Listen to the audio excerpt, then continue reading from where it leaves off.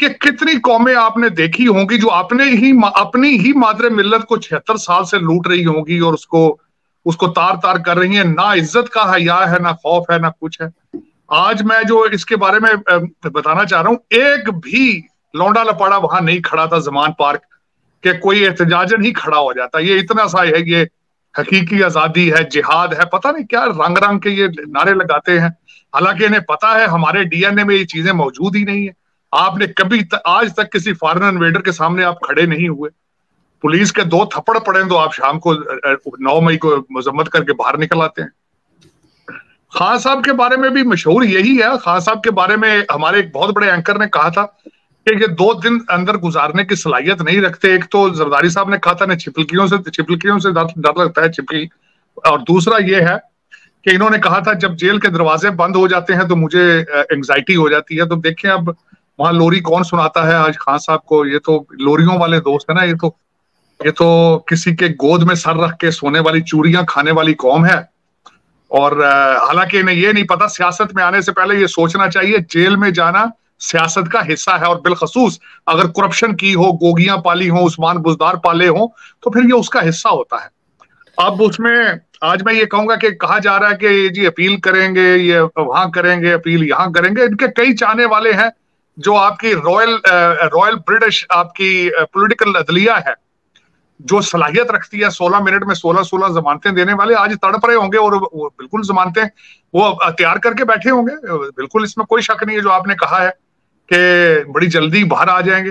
लेकिन अब देखें, अब ये, इस वक्त मसला ये है कि पाकिस्तान में अकाउंटेबिलिटी का प्रोसेस कहीं ना कहीं से शुरू करना चाहिए और यहीं से मैं कहता हूँ शुरू कर लें तो बेहतर है।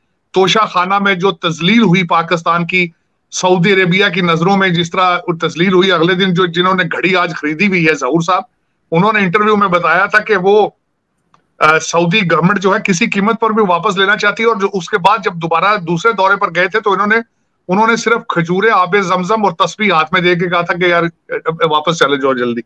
तो उसमें इन्हें किसी को ना को हया है, ना शर्म है, मजहबी पार्टी बना ली है, सियासत को सियासत का टर्न देकर मदीने रियासत मदीना बनाकर लोगों को चूरन बेच रहे हैं नई कौम को। आज देखे मैं तो कहता हूँ कि इनका एहतसाब होना चाहिए ना सिर्फ़ इनका इनकी पूरी टीम का एहतसाब होना चाहिए। उस्मान बुलदार साहब लेकिन सर इनको जो लोग लाए स्टेब्लिशमेंट से फौज के जो लोग जिन्होंने इनका वो वो वो कब अंदर जाएँगे? अरबों रुपए इस कौम के जाया किए उन्होंने इमरान प्रोजेक्ट पे और कौम हाँ। के कई साल बर्बाद कर दिए। हाँ। और पड़ोसी मुल्कों के साथ रिलेशनशिप सबके साथ खराब कर दिए मैं समझता हूँ उनका भी एहतसाब होना चाहिए।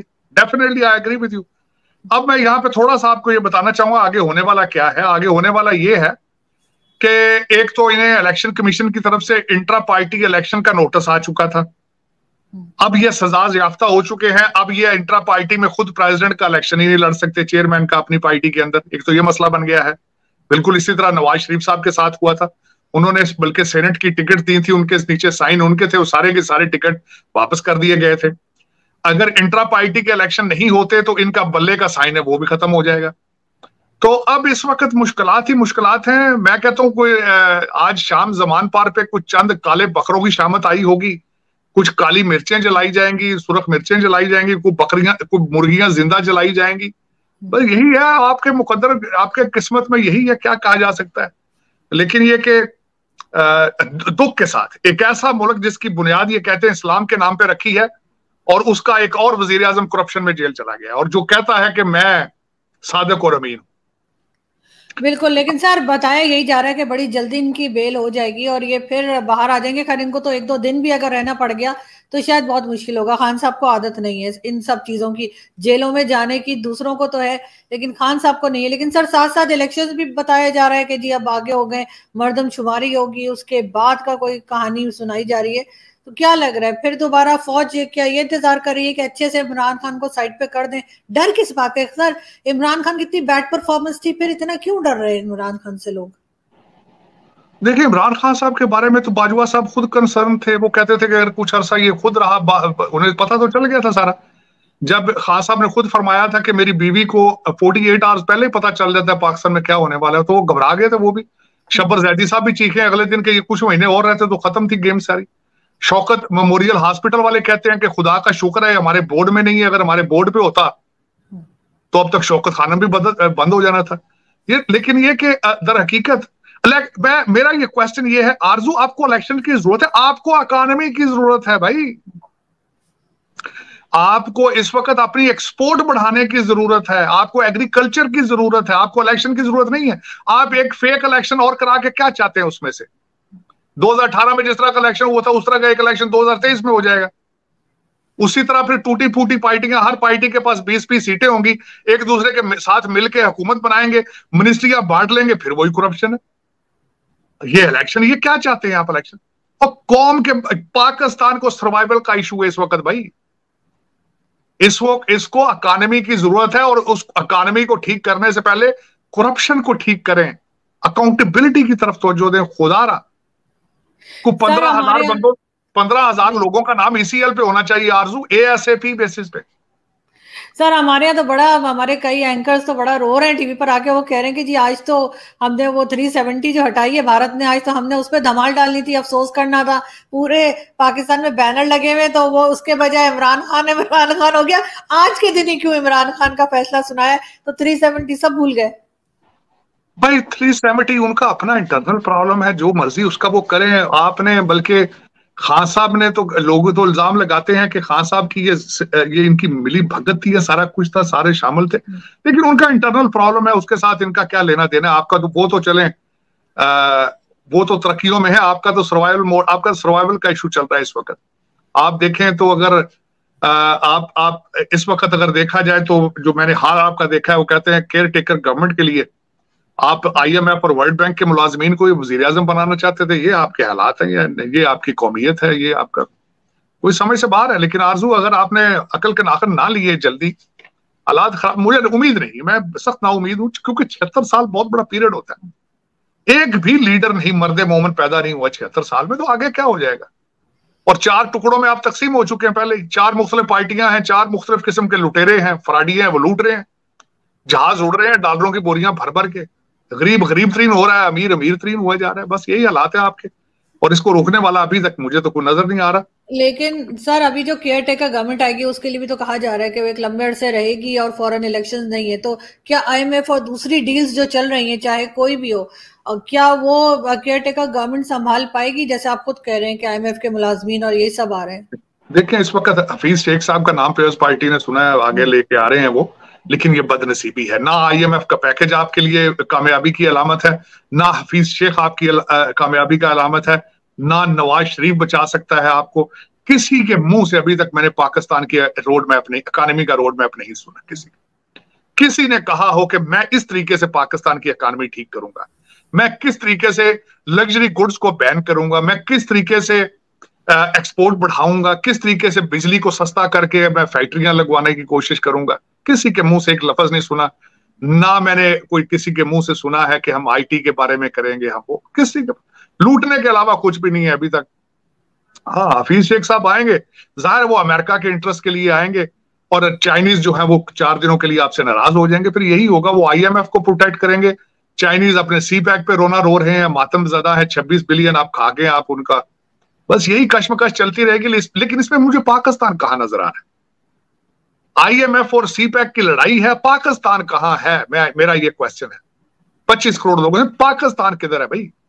ये तो दस हज़ार लोग हैं जो, जो आ, मुझे ये बताएँ सीपैक के ऊपर से कमिश्नर जो लेते हैं ये ये लूट रहे हैं पाकिस्तान को सीपैक के एक एक उसमें तनाजर में। इसमें आम पाकिस्तानी का क्या फ़ायदा है? आईएमएफ का पैकेज आया तो किसी ने बताया आईएमएफ के पैसों से हम क्या करेंगे? आम आदमी को उसका क्या फ़ायदा है? कोई फ़ायदा नहीं। हम्म। ये वो जो पाँच दस हज़ार लोग हैं जो बड़े शहरों में बैठे हैं लूट रहे हैं मज़े के साथ। बच्चे सबके लंदन और टोरंटो सर हमें तो रशियन ऑयल भी गले पड़ गया इस जिस तरीके से फ्यूल प्राइस हुई और सुना है कि अगस्त के मंथ में एक बार फिर पैसे बढ़ाए जाएँगे फ्यूल के। तो वो रशियन ऑयल फिर किस काम का है जो मुसद्दिक मलिक साहब बार बार बताते हैं? वो भी एक ड्रामा है टोपी ड्रामा इधर से एक टोपी उतार के और दूसरे के रख दी एक बंदर पाठ बनाया कि मेरे में नेशनलिटी किसी को पता ही नहीं है कि मुल्क में हो क्या रहा है। मुझे ये बताएँ चौदह पार्टियाँ मिलके जब चौदह मिनिस्ट्रियों को लूट रही हो जिस तरह चूस रही हूँ, खून पाकिस्तान का उसमें यही कुछ होगा। आज भी, लेकिन आज जो जो कुछ हुआ है, इस पे पूरे पूरे पाकिस्तान को आज इस पे मातम करना चाहिए, अफसोस करना चाहिए कि आपका हर वज़ीर आज़म करप्ट करप्शन में क्यों पकड़ा जाता है? आपका हर वज़ीर आज़म करप्ट क्यों है? ये सवाल है आज। मेरा इमरान खान का सवाल नहीं है।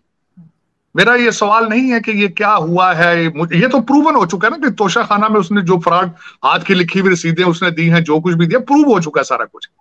लेकिन क्या बात है ये इस्लामिक रिपब्लिक का पाकिस्तान का हर प्राइम मिनिस्टर करप्ट क्यों है?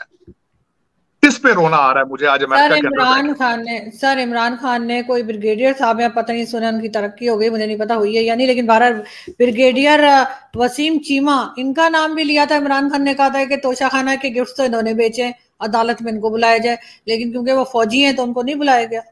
नहीं, बुलाना क्या था? इन्होंने नाम ही नहीं दिया उसके गुआन में। अदालत अपनी मर्ज़ी से क्यों बुला ले? गवाही तो इन्होंने देनी थी। चार बंदों के नाम दे दिए टूटे फूटे जो टैक्स बनाने वाले थे। इन्होंने इनको खुद नाम, लेकिन शाम को मेरा ख्याल है किसी ने दवाई दे दी होगी।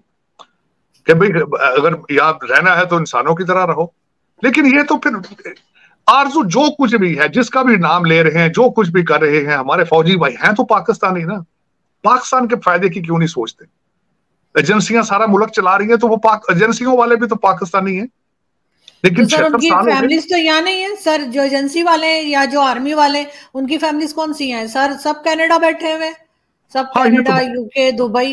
ये तो ये तो मैं ये तो मैं एग्री करूँगा ये तो मैं एग्री करता हूँ। तो, मैं मोहल्लात की मैंने सोचा बताया था आपके आपने कहा था ना करें लेकिन मेरी ख्वाहिश है कि मैं एक लंदन से दुबई से और टोरंटो तीन जगहों से आपके जो रूलर रहे हैं जो आर, इस वक्त भी जो मुलाजमीन हैं बीस बीस ग्रेड के उनके जो महल्लात हैं उनकी मैं सोच रहा था मूवीज़ बना के तो मैं इंटर किसी इंटरनेशनल मीडिया पे दूँ मैं पाकिस्तान को क्या मैंने देनी है वहाँ किसी ने क्या चलानी लेकिन वो मैं आईएमएफ को भेजूं एक वीडियो और सोच रहा हूँ कि एक वर्ल्ड बैंक को भेजूं स्टेट डिपार्टमेंट को भेजूं और मैं सोच रहा हूँ कि यहाँ C N N Fox channel वालों को दूँ कि ये देखो ये देखो छिहत्तर साल में हमने ये बनाया है भाई।